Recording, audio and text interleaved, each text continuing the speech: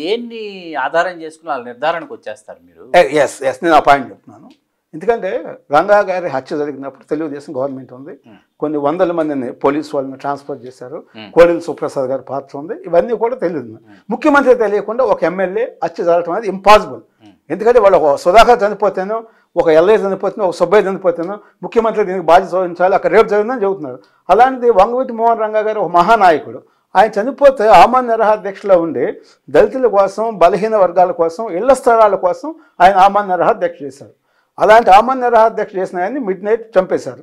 దానికి ఇతర జిల్లా నుంచి వచ్చారని చెప్పేసి ఇవన్నీ కూడా చేశారు. కర్నూలు జిల్లా కోయిలకుంట్లకు చెందినటువంటి కోయిలకుంట్ల నుంచి వచ్చారని చెప్పేసి- కోర్టులో కూడా ప్రొడ్యూస్ చేశారు. కోర్టులో కూడా ప్రొడ్యూస్ చేశారు. ఇవన్నీ కూడా మీరు చూశారు. అంటే ఆ రోజు మర్డర్ అనేది రాష్ట్ర కాంగ్రెస్ పార్టీకి సంబంధించిన నాయకులు ఢిల్లీ నాయకులు సంబంధం లేదు ఇది వాస్తవంగా ఉమ్, ఇక్కడ నాయకులు మాకు రంగా గారు ముందు ముందు ముఖ్యమంత్రి అవుతారు రేపు ఎనభై తొమ్మిదిలో. ఆయన ముఖ్యమంత్రి అయితే సింగిల్ లార్జెస్ట్ సామాజిక వర్గం. ఆటోమేటిక్గా బీసీలకి ఎస్సీలకి అందరికీ రాజ్యాంగ ఫలాలు. పొలిటికల్ పవర్ అందరికి కూడా దగ్గరకు వస్తుంది. అందరికీ చేతుల్లోకి వస్తాయి అనేటువంటి ఉద్దేశంతో ఇంపాసిబుల్ మళ్ళీ మనకు రావటం అని చెప్పేసి ఆ కుట్రలో కూడా క్లియర్ కనపడుతుంది. టీడీపీ గవర్నమెంట్ ఏంటంటే రంగా గారు ఉంటే ఒక డెబ్బై ఎనభై సీట్లలో ప్రభావితం చూపిస్తారు. అందుకని మన గవర్నమెంట్ రాదు. రంగా గారు ఉంటే ఆయన ముఖ్యమంత్రి అవుతాడు మరలా మనకు అవకాశం రాదు.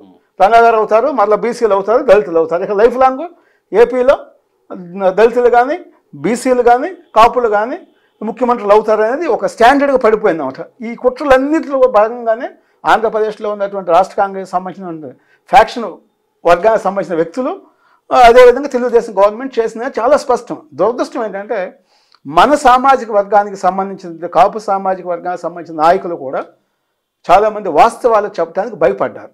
ఆ రోజు? ఆ రోజు.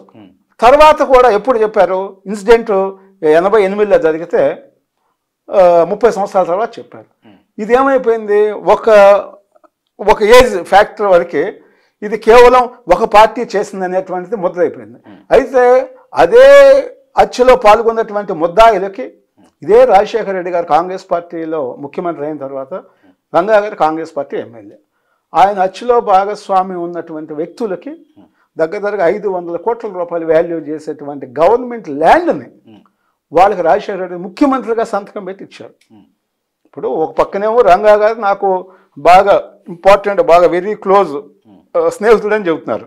ఒక పక్కనే అదే అచ్చులో నెంబర్ వన్ టూ ముద్దాయిలుగా ఉన్న వ్యక్తులకేమో హైదరాబాద్లో క్యాబినెట్లో డెసిషన్ చేసేసి వాళ్ళకి ల్యాండ్ హైదరాబాద్లో విజయవాడలో ఇవ్వటము ఇవన్నీ కూడా చూసామంట. ఆ రోజు రాధా గారు కూడా వంగవీటి రాధా గారు ఎమ్మెల్యేగా ఉండి ఆయన కూడా అపోజ్ చేశారు.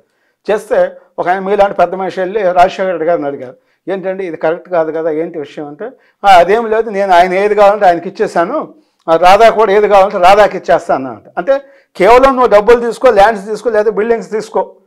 మీ తండ్రి హత్య గురించి మా మాట్లాడొద్దు అనేది వంగవీటి రాధాకృష్ణ గారితో. ఆ రాధాకృష్ణ గారు చెప్పారు. రాజశేఖర్ గారు చెప్తే ఆ రోజు రాధాకృష్ణ గారు దాన్ని రిజెక్ట్ చేసినాను ఇది కరెక్ట్ కాదు ఇది. నా తండ్రిని హత్య చేసిన వాళ్ళకి ఈ విధంగా ఇవ్వటం కరెక్ట్ కాదని చెప్పేసి ఆయన ఇక్కడ బయటకు వచ్చాడు అన్నమాట. అంటే నేనేమంటున్నా అంటే కాంగ్రెస్ పార్టీ తరఫున ఎమ్మెల్యేగా ఉండి చనిపోతే ఆయన భిక్ష మీద కాంగ్రెస్ పార్టీ వస్తే కనీసం రాజశేఖర్ గారు ముఖ్యమంత్రిగా ఉన్నప్పుడు కూడా మేము కొన్ని నాలుగైదు సార్లు రంగా గారు పేరు పెట్టమని అడిగాం. మాతో పాటు విజయవాడలో ఉన్న వాళ్ళు కూడా అట్లా వైజాగ్లో రాష్ట్ర వ్యాప్తంగా అనేక మంది ముఖ్యమైన వ్యక్తులు అడిగారు. కానీ ఆ రోజు పెట్టలేదు. కేవలం ఊరినే ఒక నామకే వాస్తవికి తీస్తారన్నమాట. అంటే అలాంటి ఒక మహానాయకుడికి అవమానం జరిగింది. అదే మీకు కర్నూలు జిల్లాకి వెళ్తే దామోదర్ సంజయ్ గారు. మరి ఆయనకన్నా గొప్ప ముఖ్యమంత్రి భారతదేశంలో లేరు. మొట్టమొదటి దళిత ముఖ్యమంత్రి. దళిత ముఖ ఫస్ట్ దళిత సీఎం నీతికి నిజాయితీకి మారుపేరిన వ్యక్తి ఆల్ ఇండియా కాంగ్రెస్ పార్టీకి అధ్యక్షుడు చేసి రేపు ప్రధానమంత్రిగా కూడా ఆయనకి అవకాశం ఉంది. ఆల్రెడీ లేబర్ మినిస్టర్ చేశారు సెంట్రల్లో. ప్రధానమంత్రిగా కూడా అవకాశం ఉంది. ఒక దళిత సామాజిక వర్గానికి సంబంధించిన వాడు అది కూడా మన ఆంధ్రప్రదేశ్కి సంబంధించిన వ్యక్తి. ప్రధానమంత్రి కూడా అయ్యేటువంటి అవకాశం ఉంది అనేటువంటి స్థాయి ఉన్న వ్యక్తి. అంటే అంతకన్నా గొప్ప వ్యక్తి ఎవరు లేరు. అంటే మన పివి గారు తప్పితే సమైక్య రాష్ట్రంలో అంతకన్నా గొప్ప వ్యక్తి ఎవరు లేరు. ఆయనకి కాకుండా ఆయన పేరు పెడతానికి కూడా యాక్సెప్ట్ చేయట్లేదు. వేరే పేర్లు పెడుతున్నారు కానీ అడిగినటువంటి అనేక సంఘాలు డిమాండ్ చేసినాయి. రామో సంజయ్ గారి ఇష్యూలో కూడా అనేక సంఘాలు కాపు సంఘాలు ఫస్ట్ డిమాండ్ చేసినాయి ఆ దళిత సంఘాలు బీసీ సామాజిక వర్గాలు అనేక సంఘాలు డిమాండ్ చేసినాయి ముఖ్యమంత్రులు ఎవరు పట్టుకోలేదు ఏది రాజశేఖర రెడ్డి గారు పట్టుకోలేదు చంద్రబాబు నాయుడు గారు పట్టుకోలేదు జగన్మోహన్ రెడ్డి అసలు పట్టుకోలేదు నాకు సంబంధం లేదని చెప్పారు అన్నమాట మరి అదే రంగా గారి ఇష్యూ కూడా కొన్ని లక్షల మంది మొన్న అడిగారు ఇది ఎవరైనా పేర్లు కావాలంటే ప్రభుత్వాన్ని అడగమన్నారు. జిల్లాకు పెట్టమని. జిల్లాలకు పెట్టమని. అప్పుడు అనేక మంది లేఖలు రాయటము పర్సనల్గా ఆయనతో ఇంటిమేషన్ ఉన్నవాళ్ళు నరేంద్ర గారు అయితే ఏకంగా దీక్షలో చేశారు. చేశారు చేశారు. మరి నేను కూడా దగ్గర దగ్గర పదిహేను ఇరవై సంవత్సరాల నుంచి రంగా గారి పేరు పెట్టాలని డిమాండ్ చేస్తున్నాం. విజయవాడలో చేస్తాం హైదరాబాద్లో ఇందిరా పార్క్ దగ్గర ధర్నాలు చేస్తాం అదేవిధంగా మంగళగిరిలో కూడా ఆయన పేరు పెట్టాలి అని చెప్పేసి డిమాండ్ చేసాం ఎవరు కూడా దాని మీద స్పందన లేదు పట్టించుకోలేదు. సరే మొన్న జిల్లాల విభజన చేశారు. చేసినప్పుడు గౌతు లచ్చన్న గారిది అక్కడ ఆయన సర్దార్ ఆయన శ్రీకాకుళంలో.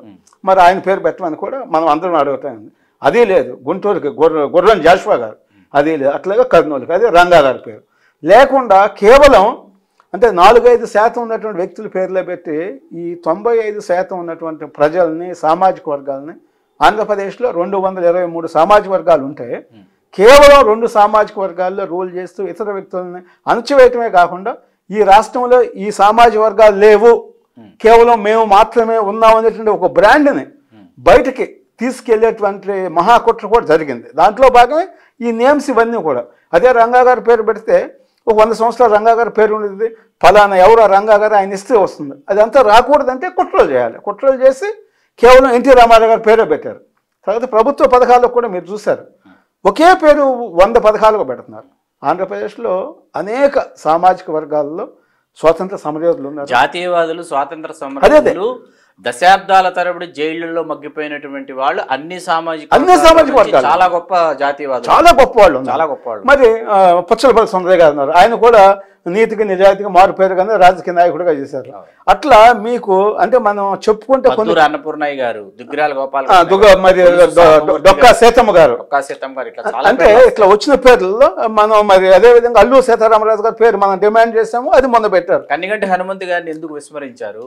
అది కందిగంటి హనుమంత్ గారు. పల్నాడు జిల్లాని పెట్టేశారు. ఎస్ అది కందిగంటి హనుమంత్ గారి పేరు పెట్టాలని అనేక రకాలుగా డిమాండ్ చేస్తారు. ఆయన మొట్టమొదటి స్వాతంత్ర సమరయోధులలో దాంట్లో ఆ ఫైటర్స్లో. ఆ ఉద్యమకారులు ఆయన ఒక వ్యక్తి అనమాట ఆయన కూడా కేవలం ఈయన ఫలానా సామాజిక వర్గం ఈయన కాపు సామాజిక వర్గం ఈయన బీసీ సామాజిక వర్గం ఈయన యాదవ సామాజిక వర్గం ఈయన గౌడు అందువల్ల వీళ్ళ పేర్లు పెట్టకూడదు అనేది ఒక కుట్ర అయితే జరిగింది. దాంట్లో భాగంగానే వీళ్ళు ఎవరి పేరు పెట్టలేదు. ఇక్కడ మీకు జోక్ ఏంటంటే ఇంతమంది మహానాయకులు ఉంటే మరి నిజంగా చాలామంది వాళ్ళ ఆస్తులను కూడా దానం చేయడం జరిగింది. వాళ్ళ పేర్లు కూడా పెట్టలేదు. కానీ మన ఆస్తికి వాళ్ళ పేర్లు పెట్టి మరి నిజంగా రాష్ట్ర ప్రజలను కూడా అవమానిస్తున్నారు. ఇది ఏ రకంగా కూడా కరెక్ట్ కాదు. ఆంధ్రప్రదేశ్లో నిజంగా రాజ్యాంగంలో మనకి ప్రియాంబుల్ ఉంది. రాజ్యాంగ పీఠిక. దాంట్లో ఏముంటుంది? అన్ని వర్గాలకి అందరికీ సామాజిక న్యాయం ఆర్థిక న్యాయం రాజకీయ న్యాయం అంటారు. అంటే ఈ స్వాతంత్రం వచ్చిన దగ్గర నుంచి కూడా ఈ వర్గాలకి దళితులు అని చెప్పండి బీసీలు అని చెప్పండి కాపు సామా ఈ వర్గాలు ఎవరికీ కూడా రాజకీయ న్యాయం లేదు ఆర్థిక న్యాయం లేదు సామాజిక న్యాయం లేదు. లేకపోగా అందరిని అంచవేస్తూ వాళ్ళ మీద దాడులు చేస్తూ హత్యలు చేస్తూ డోర్ డెలివరీలు చేస్తూ చాలా బీభత్సమైనటువంటి వాతావరణం జరుగుతుంది. ఇవాళ ఆంధ్రప్రదేశ్లో అదైతే మటుకు పీక్ స్టేజ్కి వచ్చింది. ఇప్పటికైనా కూడా ఈ వర్గాలన్నీ కూడా మరో స్వాతంత్ర పోరాటం చేయాలి. ఎందుకంటే బ్రిటిష్ వారి కన్నా కూడా ఘోరమైనటువంటి పరిపాలన వాళ్ళు మనకు జరుగుతుంది. ఆ రోజు కూడా జీవో నెంబర్ వన్ లేదు. నిజంగా ఆ రోజు జీవో నెంబర్ ఉంటే మనకు స్వాతంత్రమే రాదు. ఎవరింట్లో వాళ్ళే పడుకునేవాళ్ళు అనమాట మరి ఈ రోజు అసలు ఇంట్లో నుంచి బయటకు వస్తే నువ్వు రోడ్డు మీద మాట్లాడకూడదు రోడ్డు మీద నువ్వు ఎవరిని కలవకూడదు రోడ్డు మీద నువ్వు జీప్ మీద కూర్చోకూడదు అని ఇన్ని ఆంక్షలు పెడుతుంటే అన్ని వ్యవస్థలు కూడా ఇవాళ రాజ్యాంగ వ్యవస్థలు అన్నీ కూడా సర్వనాశనం చేస్తారు. Subscribe. Subscribe subscribe subscribe subscribe subscribe RTV RTV Telugu RTV RTV Telugu RTV Telugu RTV Telugu